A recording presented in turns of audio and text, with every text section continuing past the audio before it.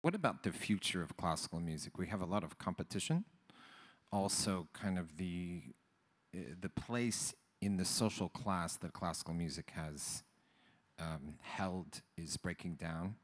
A big problem with symphony orchestras in the U.S. is the benefactors of these great institutions are retiring and passing from the scene, and their children are not as interested as they were. They just uh, an excellent article on what's going on in Minnesota made the point that the the new generation just doesn't love the music the same way that their parents and their grandparents did, and so they're not uh, opening the bank accounts to support it to the same degree.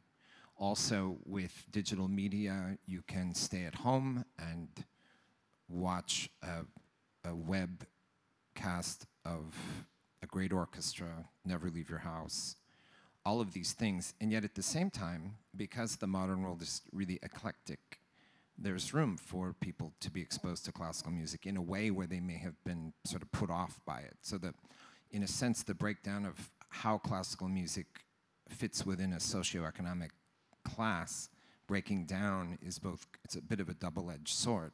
My feeling is that everyone loves classical music, they just don't know it yet. And that it's our job to introduce them to it in a way that they'll fall in love with it. Any thoughts on those questions? I, I very much uh, uh agree with that. I, it's also uh, the experience, also working with uh, with people from from other genres, from uh, um, with VJs, with with uh, DJs. There's often sure classical music. Yeah, I, I, also listen to it. There's decent these tracks there on my on my iPod anyway.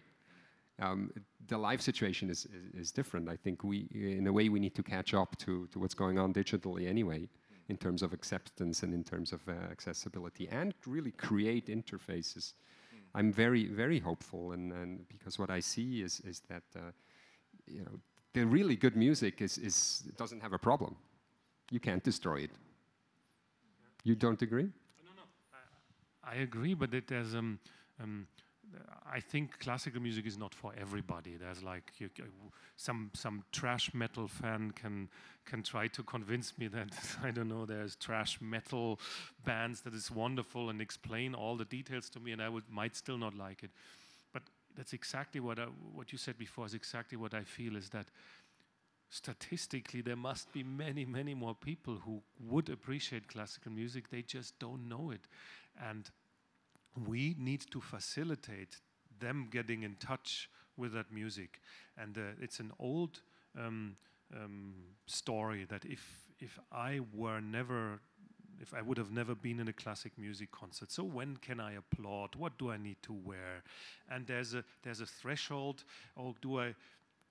If you think that all the other listeners are experts and you are the one who doesn't know anything, it's this this social pressure thing. And I I worked with an Australian Baroque Orchestra. And, and for example, there's a wonderful thing.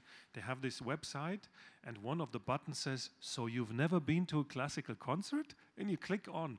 And with a few very friendly, not patronizing, just very says, Well, in general, the orchestra plays something called a symphony, and there's individual movements, and we think it's better to go from one movement without an applause. What should you wear? Well, you don't need to dress up in a tuxedo, but since we celebrate something here, something nice, maybe put on something smart, not and and and you kind of it, it's a it's a very nice way to to uh, attract an audience. And I played with that orchestra many times, and they are very limited in how far they can travel. They have these five cities in Australia, that are big cities or major cities that they can visit, but they have, I think. 35 or 40 concerts in the same hall in Sydney, and they're all sold out.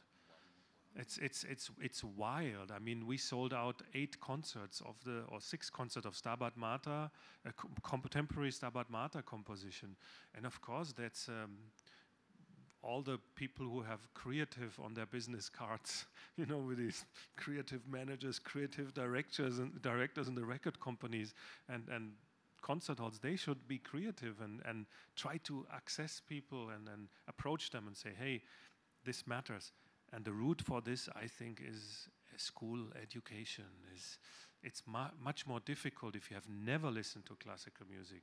And at the age of 30 suddenly you're expected to discover it.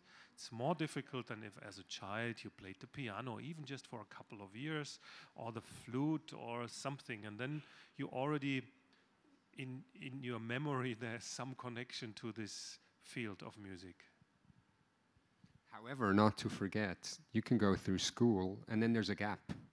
You're 14, 15, and then there's, n- there's, no, there's no real vessel. And I think we also need to fill that gap. And